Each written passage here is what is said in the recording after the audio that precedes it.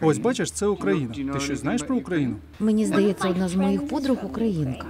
Майкл з Донею проживають неподалік Українського інституту Америки. Каже, завжди хотів дізнатись, що всередині будівлі з українським прапором.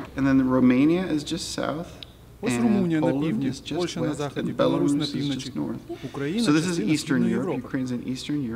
Купер з тіткою Елен, також мешканці Нью-Йорка, прямували до центрального парку. По дорозі вирішили завітати.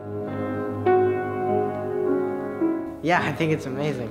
It's amazing. It's huge. It'd be awesome. Купер каже, було yeah, he was класно thinking тут about what it'd be жити. like to live in here. Yeah. Відкривати Україну для іноземців та об'єднувати навколо себе американо-українську громаду. Місія, яку вже 70 років виконує Український інститут Америки, пояснює його президент Деніел Свістель. Наше головне завдання пропагувати Україну, розповідати не українцям не лише про історію України, але що можливо важливіше про її сучасну культуру, культурні події, які зараз відбуваються в Україні, новини, які чують тут: війна на сході, анексія Криму, суперечки між олігархами. А ми хочемо розказати, що в Україні також процвітає мистецтво, створюється чудова музика. Український інститут Америки знаходиться на 5-й авеню в Мангеттені на так званій музейній милі. Навпроти центральний парк в кількох метрах відомі всьому світові музеї Метрополітен та Гугенхайм. Маєток Флетчер Сінклер, в якому розташувався інститут, національний історичний пам'ятник, захищений державою. Побудований наприкінці 19 століття відомим архітектором Чарльзом Гілбертом, він належав кільком родинам нью-йоркської еліти, а певний час і художньому музею Метрополітен. У 1955 році маєток придбав з аукціону засновник Українського інституту Америки, винахідник та меценат Володимир Джус за 225 тисяч доларів. Нині будинок оцінюється у понад 100 мільйонів доларів.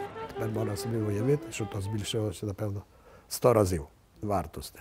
Але найважливіше, найбільша вартість того будинку є те, що то є символ, такий е, ікона української культури е, в, Нью-Йорку. Е, ті, що не знають, що то є навіть український інститут, знають той будинок, бо він, значить, має таку, таку, таку, таку спеціальну якусь е, е, такий вигляд. Володимир Джус іммігрував з Галичини у США 18-річним хлопцем у 1913-му. В Америці він став інженером, розробив кілька винаходів, зокрема, новий вид закріплювачів для авіації, якими були оснащені американські та англійські літаки під час Другої світової війни. Інститут Джус заснував у 1948 році, щоб допомагати новоприбулим українцям адаптуватися до нового життя в Америці. Сьогодні інститут має кілька програм: музичну, мистецьку, програму для молодих професіоналів.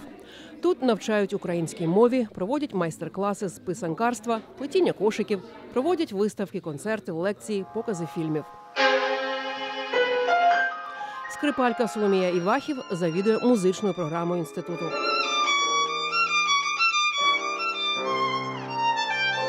Тішуся, що я маю нагоду ознайомити слухачів з такими великими постатями української культури, як Мирослав Скорик, Євген Станкович, Валентин Сільвестров. Також ми пропонуємо слухачам е, музику молодих композиторів України, тому що надзвичайно гарно розвиваються молоді музиканти і молоді голоси, продукують багато гарних творів. Володимир Гойдеш, куратор мистецької програми. За роки існування інститут привіз до Нью-Йорка роботи сотень митців з України. То не є значить, легка штука в Нью-Йорку добитися до такого престижного місця. А ми маємо, значить, це є в нашій, значить, в нашій е, можливостях запрошувати з України най, най, найкращі е, е, мистецькі таланти, щоб тут виступали і представляти їх американській публіці і взагалі публіці інтернаціональній. Утримувати будинок в серці Мангеттена вартістю у понад 100 мільйонів доларів справа дорога. Існує інститут на пожертви членів, а частину прибутків отримує від оренди. Проводити вечірки тут полюбляють такі відомі дома моди, як Прада та Картія. Влаштовує прийняття в стінах Українського інституту і музей Метрополітен. Опра Вінфрі презентувала тут свій журнал О. У цих стінах знімались понад 40 художніх фільмів та серіалів. У квітні інститут офіційно відсвяткував 70-ту річницю. Тут кажуть, сьогодні надважливо залучати молоде покоління українців та об'єднатися з іншими українськими організаціями, щоб продовжити місію, закладену Володимиром Джусом 70 років тому. Ми зобов'язані підтримувати нову хвилю українців, які емігрують до цієї країни, які шукають тут нові можливості. Ми вважаємо себе свого роду вхідною брамою для цих українців. Наталія Леонова, Костянтин Голубчик, Дмитро Савчук, Голос Америки з Нью-Йорка.